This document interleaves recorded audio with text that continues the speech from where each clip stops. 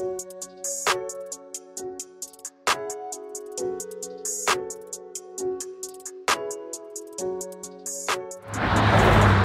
don't know where they're going, but they're going somewhere fast. A lot of drivers are distracted now. They have their phones out. A Memphis drivers, they just drive fast and careless. There are so many car accidents. There are so many pedestrian deaths and cyclist deaths and injuries. There's a famous song that Marc Cohn did, Walking in Memphis. The irony is walking in Memphis is not great. We've got to do something to change it.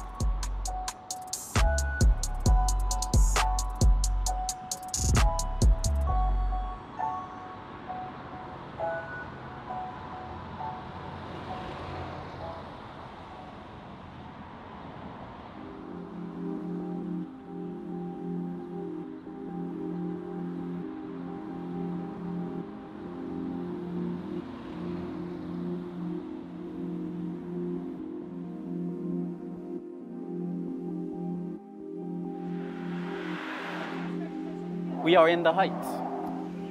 We are north of Summer, south of Jackson. Relatively small neighborhood, but has its fair share of difficulties and also beauties. Many people in our community rely on the sidewalks and the public infrastructure uh, to allow them to get to where they need to get to.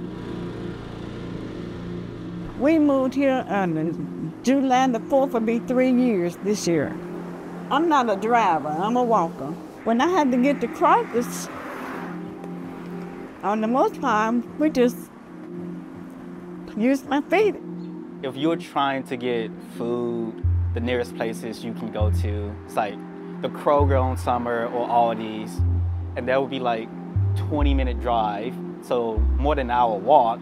I ask God to keep me safe and sound. Don't let me get run over by no car.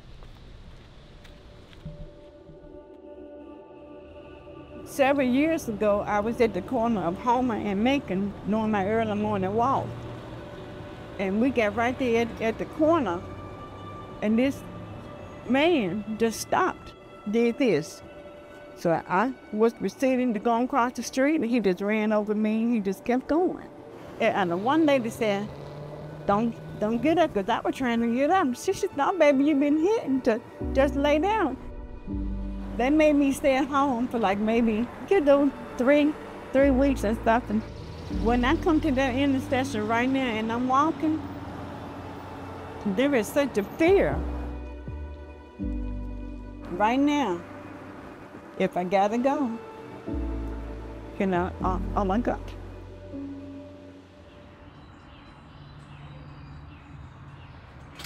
I am someone who predominantly cycles and walks and uses alternative transportation. I usually take neighborhood roads when I can. I very rarely will not cross at a light. You're supposed to yield to pedestrians. Even if there isn't a light, even if there's not flashing lights, even if there aren't yellow signs, you're supposed to yield to pedestrians in a crosswalk, but no one ever does. I never take Poplar. There are so many lanes. People go so fast on Poplar, and there's very little barrier in between the third lane, you know, the outer lane of Poplar and the sidewalk. When you compare Summer Avenue to another similar corridor in the state of Tennessee, Summer Avenue had twice, two times, the state average crash rate for a similar corridor. You have crumbling sidewalks, gap sidewalks. There are segments on Summer Avenue that you have gaps between high visibility crosswalks. Certain areas, almost 3,000 linear feet between a high or a protected or a safe crossing.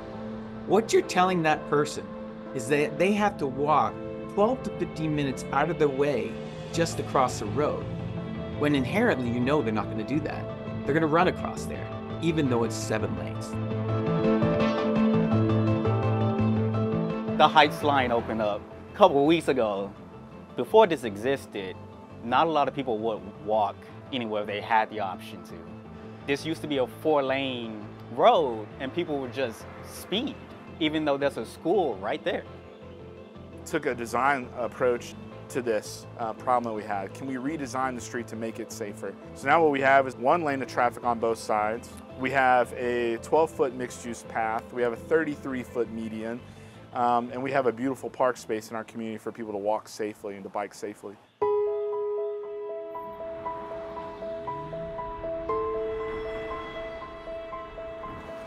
Try to walk and see how pedestrian feel on the sidewalk.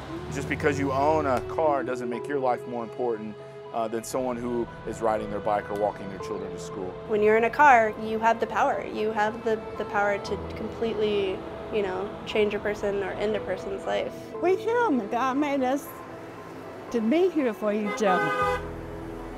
See, crazy. What if we asked for more? What if we started a discussion somewhere on, on infrastructure? I think Memphis is way behind when it comes to addressing uh, pedestrian safety in our city. People want to live in a community that's safe for them to walk in, that's walkable, that's livable. That's also what people need. They need to feel safer.